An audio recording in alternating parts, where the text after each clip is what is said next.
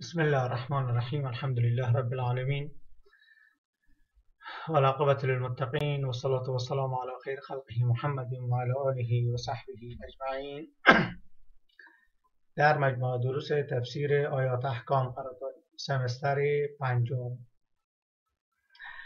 جلسات گذشته عناوین خیلی زیاده گرفته بودیم از جمله عنوان داشتیم امارت المساجد آباد کردن مساجد. چه کسانی می توانند مساجد را آباد کنند؟ گفتیم که مشرکان اجازه اعمار مساجد را ندارند و نه هم اجازه وارد شدن در آن البته در رابطه با وارد شدن بیشتر توضیح احکام شرعی بود مال مراد به امارت المساجد مال مراد بالمساجد فی الآیه الکریمه. مراد کدام مساجد است؟ هل یجوز استخدام الکافر فی بناء المساجد؟ استخدام کافر در بنای مساجد در صورتی که کارگر باشد نجار باشد و بالاخره سنگکار باشد آری. در غیر آن صورت جایز نیست. خلاصه آیات کریمه هم گفته شد.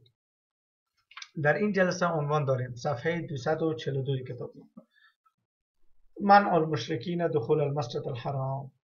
مشرکان از اینکه وارد مسجد الحرام شود باز داشته می شود یعنی ممنوع هست که مشرکان داخل مسجد الحرام اجازه نیست. خصوصا مسجد الحرام یک نماد و یک رمز برای مسلمانان گفته میشه. فعلا متاسفانه اگر واقع نگر باشیم دیگه ما نمی‌توانیم مشرکان را از اینکه وارد مسجد الحرام شوند باز بداریم از نگاهی. قوت نظامی و عسکری مسلمان ها در ضعیفترین حالت خود است. حالت های بر مسلمان ها گذشته بوده.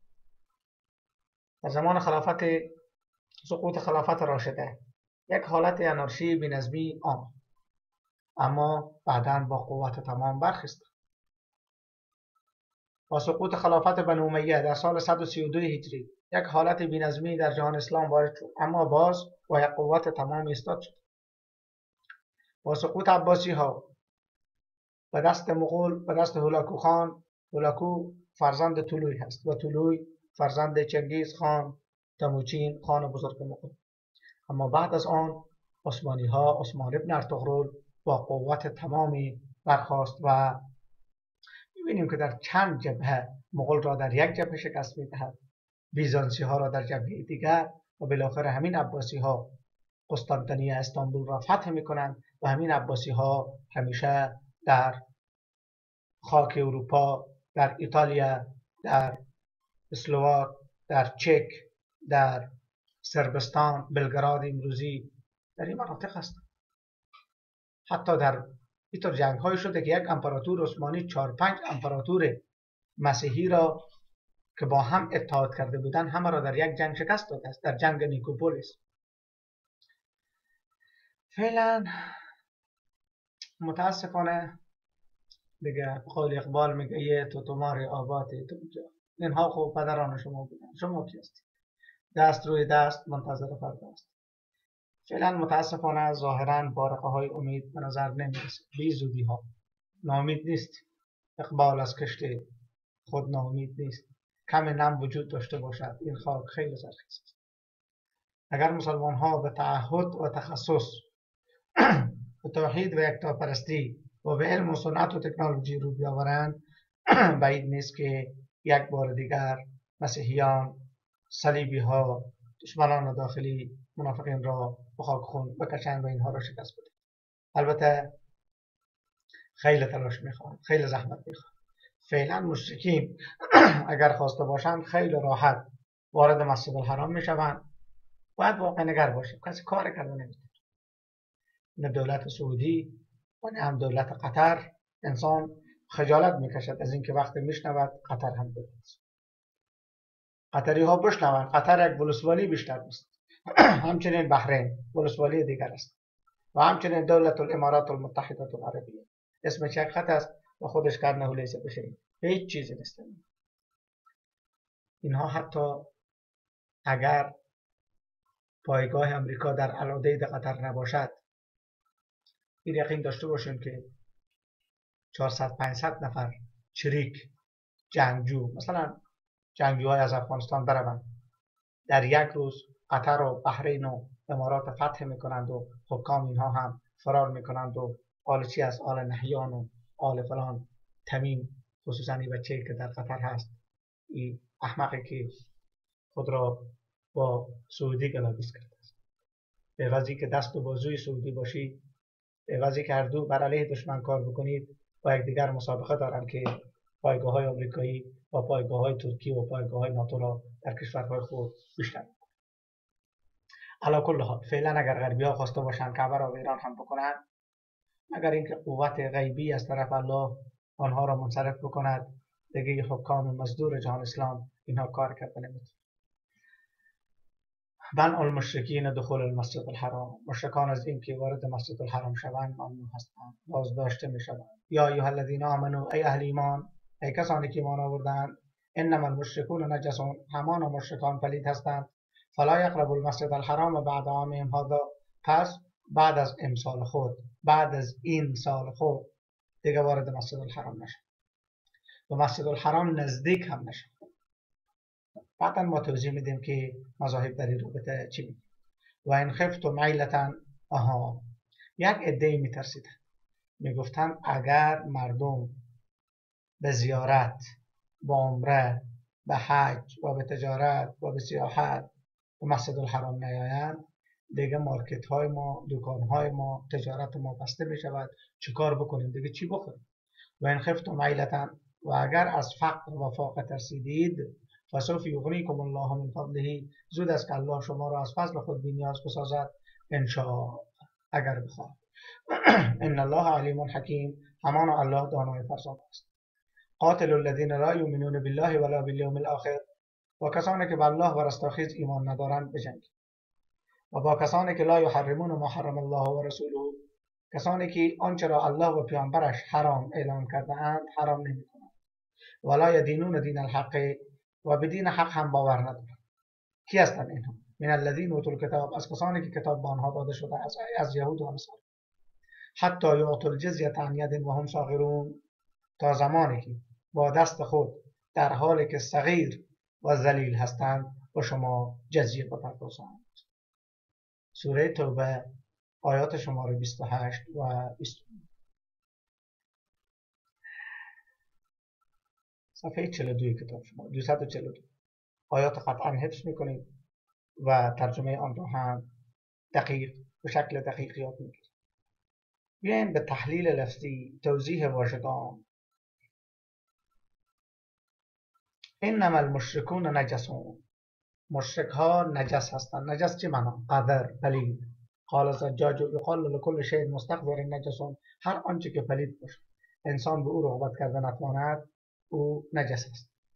و قال الفراء لغوی دیگر فرا می‌گوید لا تکاد العرب تقول نجس الا وقبلها رجس فاذا افردوها قالوا نجسون.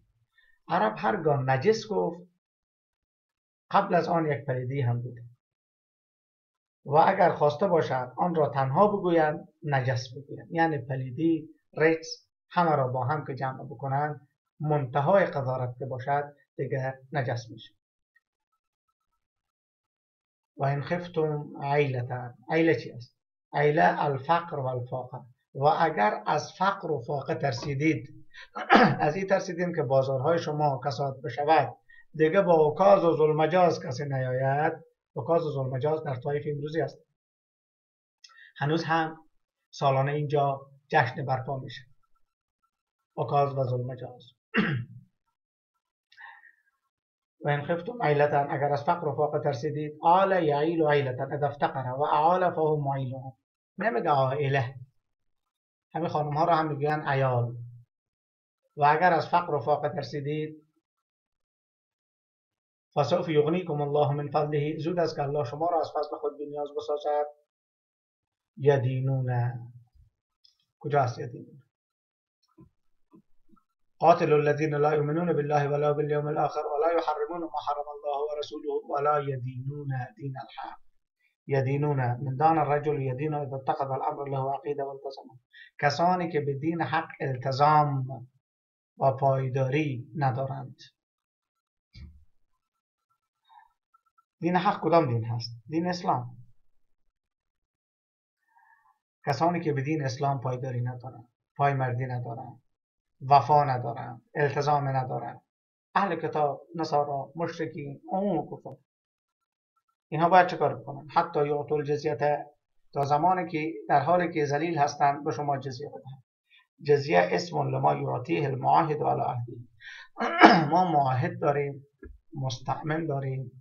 کافر حربی داریم. اصطلاحات شما در اصطلاحات در کجا ما توضیح دادیم؟ در تاریخ تشریع اسلامی. در شریعت سمستر دو سه خوانده میشه و در بقیه فاکولته ها سمستر پنج.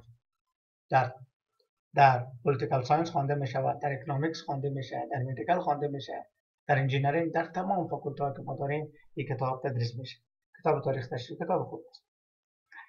جزیه اسم لما یعطیه المعاهد علی عهده کسی که در کشور اسلامی زندگی می‌کنه و دولت اسلامی یک عهد و پیمان دارد که بر علیه این دولت خیانت نکند. هر سال یک مبلغ باید بپردازد. حالا کسی نگه که از کفار شما پول زور می‌دید مسلمان زکات می‌دهد. مسلمان صدقه می‌دهد. مسلمان در جهاد اشتراک می‌کند. اینها نه زکات می‌دهند و نه صدقه می‌دهند و نه در جهاد اشتراک می‌کنند. یک سره تجارت می‌کنند و زراعت می‌کنند پول به دست میآورند. در برابر امنیتی که دولت اسلامی برای آنها گرفته باید یک مبلغ بپردازند و اگر دولت امنیت نگرفت دیگه از آنها مبلغ هم گرفته نمی‌توانند خصوصا همین سیک هایی که در افغانستان هستند اینها معاهد می عهد و پیمان با دولت دارند که بر علیه این دولت خیانت نکنند. و سالانه یک مبلغ تکسی دولت از اینها می‌گیرد. قال ابن الانباری هی الخراج المجعول علیهم ابن الانباری میگه مبلغی است که بر آنها گذاشته شده. سمیت جزیه لانها قضا ما وجب علیهم من قول جزیه اذا قضا. جزیه به خاطر می‌گیره که میگن که یعنی فیصله حتمی است. حتما به دولت می‌پردازه عن ید یؤدون الجزیه عن قهر و ظل و طاعت. دولت به هم که شده از اینها می‌گیره. اعطا یده اذا قاده. عرب میگه اعطا یده. این نفر دست خود را داد. یعنی چی؟ یعنی انقیاد کرد کرنش کرد فرمان دولت را پذیرفت و نزع یده آها اگر گفتن نزع یده یعنی بغاوت کرد. دست خود را بیرون انداخت کشید و بالاخره به سرکشی رو آورد. صاغرون صاغر ذلیل و حقیر. یعنی در حالی که اینها ذلیل و حقیر هستند به خاطر اینکه ایمان ندارند به خاطر اینکه بر توحید و یکتاپرستی نمی‌باشند طاعت و عبادت نمی‌کنه. باید جزیه بپردازه بیایم به سبب نزول. سبب نزول این آیات. آیات 28 و 29 سوره توبه. عنوان داریم منع المشرکین دخول المسجد الحرام. لما امر النبی صلی الله علیه و سلم علیا ان یقرأ على مشرکی مکه اول سوره براءه و ینبذ عهدهم رسول گرامی اسلام به علی مرتضی رضی الله عنه گفتن که برای مشرکین مکه اول سوره براعت رو بخونم. براعت من الله و رسوله الى الذين عاهدتم من المشرکین فسیحوا فی الارض اربعه اشهر الله و پیامبرش از مشرکان بیزار هستند. در این سوره خشم پرورده است از این خاطر این سوره بسم الله الرحمن الرحیم هم نداره گفتن ای علی برو آیات اول سوره برات رو بخون. و پیمانی که با مشرکان داشتیم رو بیانداز دیگه با اینها پیمانی نداره و با آنها خبر بده که الله و پیامبرش از مشرکین بری هستند بیزار هستند. حالا وقتی که این پیمان خوانده شد برخی از اهل مکه گفتن برخی از مردم گفتن برخی از مشرکین از سران عرب به مکیان گفتن ای اهل مکه ستعلمون ما تلقون من الشدة و قطاع السبل و فقد الحمولات. شما می‌فهمین که دیگه چه بر سر شما میاد دیگه مردم راه خود را بند می‌کنن. کسی به مکه به عمره و به تواف و به حج و به زیارت نمی آید بازارهای شما کسات میشه تجارت شما کسات می‌شود و کسی دیگه باری هم نمی آورد امان بود که این آیه نازل شد. انما المشركون نجس فلا يقرب المسجد الحرام و این خفتم عیلتا اگر از فقر و فاقه و از تنگ دستی ترسیدید فسوف یغنیکم الله من فضله. زود است که الله شما را با فضل و با کرم خود غنی بسازد الله شما را غنی می‌سازد. دیگه نیازی نیست که کسی احساس ترس بکند احساس خوف بکند.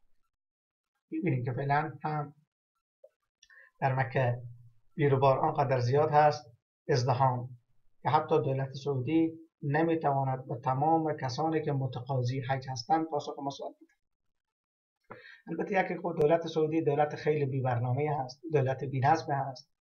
همین حرمین که انسان نگاه می‌کنه دیگه بعض جا واقعا افتضاح هست که اینها خدمت گذاری نکردن.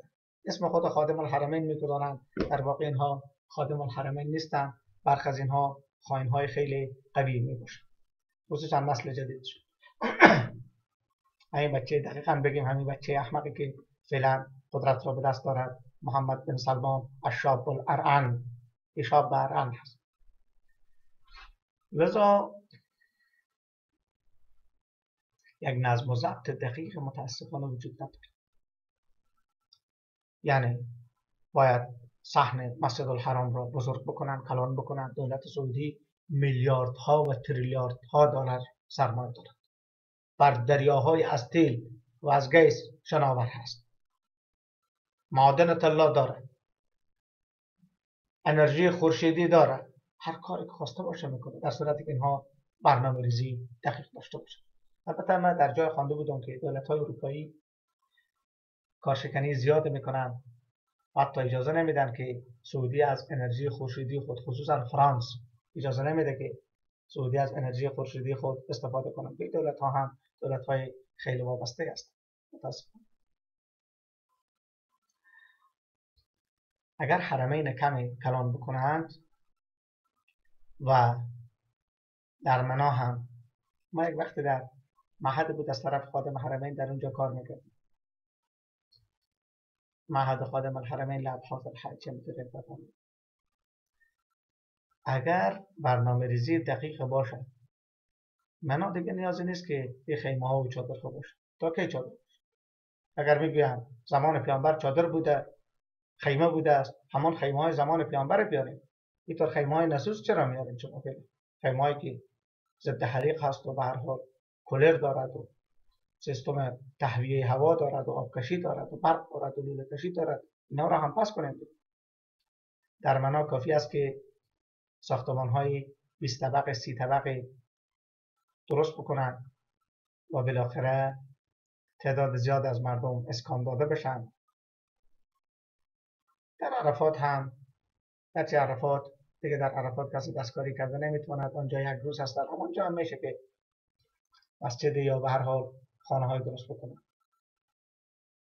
یک نوع حرمین انکشاف بدن کلان بکنن که سالانه چندین میلیون نفر فعلا دوره برای دو میلیون نفر بیشتر به حج اشتراک کرده نمی‌تونن به خاطر اینکه شرایط و امکانات آماده نیست. خصوصا به نظافت اینها نمی‌رسن. روزهای حج بعض همی کوچه های مکه را نگاه کنید از همی دروازه قندهار هم کرده بدتر و بینظمتر است.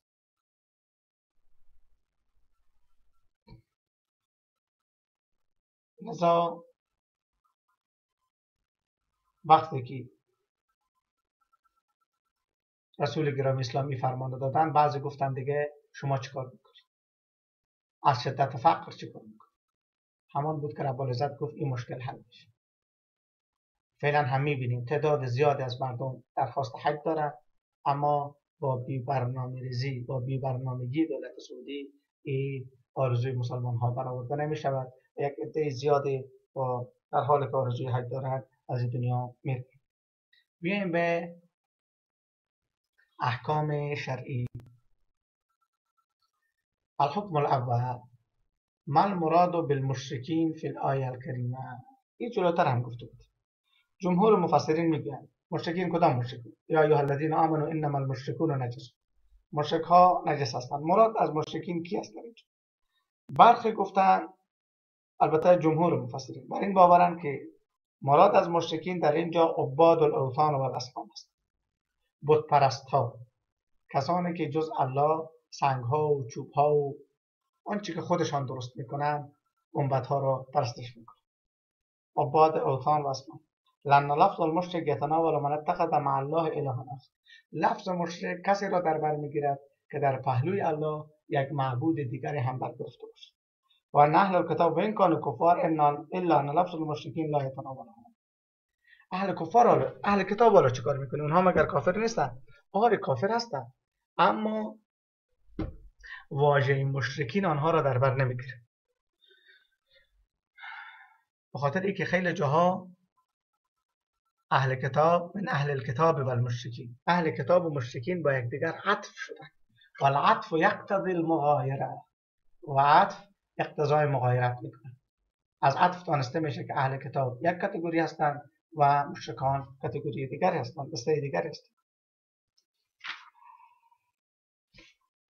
اما برخی از علما گفتند که لفظ مشرکین تمام کفار در بر می‌گیرد چه عباد اوتان باشند یا اهل کتاب باشند. به دلیل فرموده الهی ان الله لا یغفر ان یشرک به الله شرک را نمیآمرزد. شرک را نمیآمرزد یعنی کفر را نمیآمرزد. معنی نیست که شرک را بیامرزد و کفر را نیامرزد. کفر عامتر است. و یغفر ما دون ذلک لمن یشاء. و پایینتر از آن را برای هر کس که بخواهد میآمرزد پایینتر از آن یعنی غیبت کرده باشد دروغ گفته باشد. اقول هذا هو صحیح اقول من می‌گویم. الله مسابقه این صحیح است که لفظ مشرکین تمام کفار را در بر می‌گیرد چه اهل کتاب باشند و چه کسانی باشند که شرک میآورند. و ان النهی عن دخول المسجد الحرام عام لكل کافر هر کافری از وارد شدن به مسجد الحرام بازداشته میشه. فلا فرق بین الوثنی والیهودی او النصرانی فی الحکم. پس بین بتپرست یهودی و نصرانی در حکم هیچ فرقی وجود ندارد. بیان خلاصه درس خود یک بار دیگر نگاه کنیم. من المشرکین دخول المسجد الحرام. مشرکان از اینکه وارد مسجد الحرام شوند بازداشته شدند. من است. اجازه نیست که مشرکان وارد مسجد الحرام شوند. آیات کریمه یا ایها الذین آمنوا انما المشركون نجس فلا يقربوا المسجد الحرام بعد عامهم آیات به همراه ترجمه دقیقا یاد می‌گیریم تحلیل لفظی داشتیم. سبب نزول و احکام شرعی. مراد از مشرکین در آیات کریمه کی است؟ در سبب نزول چی گفته بودیم؟ آها وقتی که رسول گرامی اسلام فرمان دادند که مشرکین از این به بعد به مسجد الحرام وارد نشوند. آیات الهی را تلاوت کردند. دیگه برخی گفتند از این به بعد دیگه چیکار می‌کنید مستر رزق شما کساد میشه بازارهای شما بسته میشه. همان بود که رب العزت فرمود که این خفت و معیلتا فسوف یغنیکم الله من فضله. الله شما را بینیاز می‌سازد. پریشان نباشید. و در احکام شرعی حکم اول فقط خواندیم مراد از مشرکین در آیه کریمه چی است؟ جمهور می‌گفتند مراد از مشرکین تنها عباد الاسنام است بت پرست ها اما قول اهل تحقیق بر آن است که همه کفار مراد می‌باشند. تمام کفار نجس هستند وارد مسجد الحرام شدن نمی‌توانند چه یهودی باشند چه سیک باشند چه بت پرست باشند چه نصرانی باشند و چه مشرکان عموم مشرکان باشند. سوال استفسار داشتید حتما با استاد در میان بگذارید از طریق های خود. درس ما همینجا به پایان رسید. و صلی الله علی خیر خلقه محمد و علی آله و صحبه اجمعین.